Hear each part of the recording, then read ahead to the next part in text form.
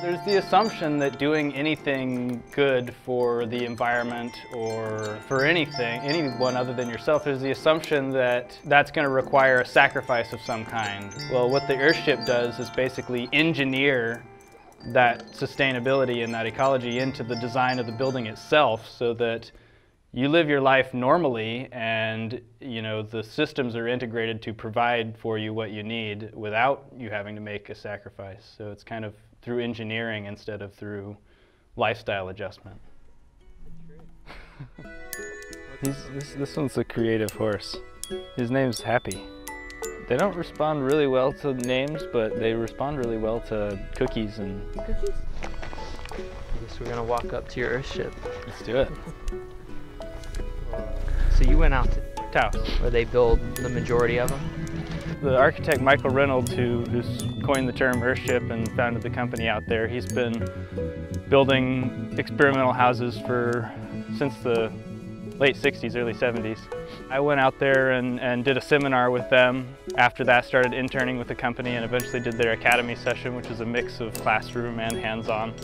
So I worked on a few buildings start to finish alongside the crew before I came and started building this one here.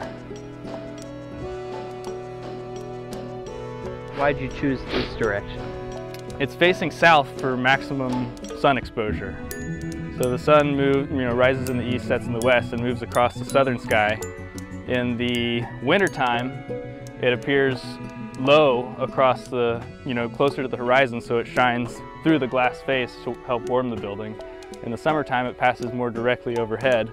So the green, the slope glass on the greenhouse lets light into the greenhouse, but shades the living space from direct sunlight. So this wasn't an afterthought. No, no, it's the absolute most necessary first step is orientation of the building. All of the systems are kind of integrated with one another and they all kind of rely on that southern orientation. Tell me a little bit about what's going on out here in the yard. Yeah, here's my solar panel array. This is what powers the building here. So give me an idea of something I could run with that. Uh, I mostly just use it for lights, which in this case I use all LED lights. Uh, charging electronics, laptop, you know, I've, I've run audio equipment and everything off of it. Some of the larger Earthships will have much bigger systems that you can run all kinds of household amenities, washer and dryer, and you know. The, the walls and everything are all basically this. They're tires filled up. So yeah, once you get your level site in the beginning, you kind of lay out the building with string, and then you lay the first course of tires out where the wall's gonna go, and fill it full of dirt, and just kind of pack it in with a sledgehammer. In this case, the dirt's kind of frozen, so it's gonna take a little bit of working, but when a tire is complete, it'll be firm all the way around and weigh two to 300 pounds. It's basically an indestructible brick. I like it. And it's, uh, it's earthquake resilient, it's uh, long lasting, it's flame proof. Uh, it exceeds the compressive strength of concrete actually. It's a thermal mass wall, so it's a conductive storage of thermal energy, which is the basis for that, how the home heats and cools itself.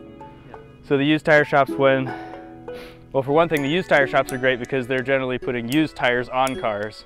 So the tires that they're taking off are like, you know, have holes in them or they're, you know, starting to come apart. They're completely useless for the road. Yeah. And they actually have to pay $2 average per tire to properly dispose of them. So if you come in and say, hey, I need your tires, yeah, they're eager to get rid of them and not have to pay. They're saving money and you're getting free building material.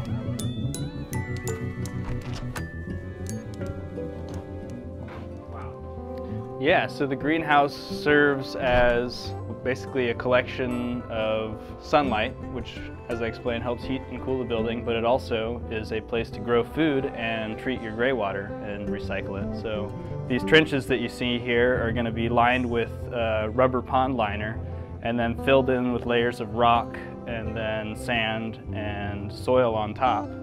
Uh, so once it's all finished, this will just look like a mulch garden floor with stepping stones. You won't see these trenches, but they'll be constructed to allow water to circulate through. So when the sun is coming in in the summertime, we'll release this rope and allow this ventilation box to open.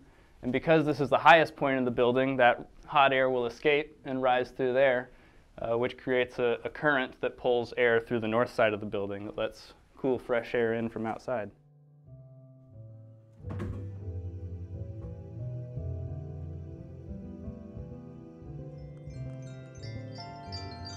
In this case, all these bottles are just going to be covered up with plaster. You know, this will be a smooth, paintable wall. Tell me why cans, why bottles? Uh, they're abundant materials, they're free. One advantage to the use of recycled materials in the Earthship application versus other means of recycling uh, is that it saves a lot of embodied energy that goes into typical recycling. First of all, you have to gather it all, you have to put it on a truck, you have to transport it, you have to put it in a facility that's usually an energy intensive process to break it down and reconstruct it into another product. Uh, in this case, you're just, you can use it right where it is without transforming it. Same with the tires, the bottles and cans. You just, uh, you can pick them up locally and, and put them right into the wall without transforming them into something. Basically, the, the purpose of the cans and bottles is really just uh, to displace concrete so that you can form up a wall using less material. So the structure is just in the honeycomb matrix of cement in between the bottles, and the bottles and cans are just filling up space. And these are going to last a long time, you'd say? Concrete is, uh, is an extremely long-lasting material. In fact, we use basalt fiber in here to give it the tensile strength. It is not steel. Uh, and basalt doesn't expand or contract or rust or corrode or anything like that. So this wall could last thousands of years. We might even have a better housing technology by then, but we could solve a lot of the world's problems just through simply the engineering of building design, you know, from energy demands and housing demands and water shortages and all of these different kind of struggles that we face as a planet and as a species. Um, this really kind of addresses them all in a really simple way, you know. I think if people could experience these buildings firsthand, see how they work, see how kind of unique and interesting looking they are beyond just uh, functionality, I think that most people would volunteer to live in one if they had the means of making it possible. But with building codes as restrictive as they are and these techniques being so uh, new and unusual, uh, it's hard to get financing, it's hard to get permits, it's hard to just make it happen, not to mention to drop what you're doing and get out of your lease or your mortgage and consolidate all of your funds to try and pull something like this off. So your main goal now is to strike people's imaginations and just get people thinking and talking. Exactly.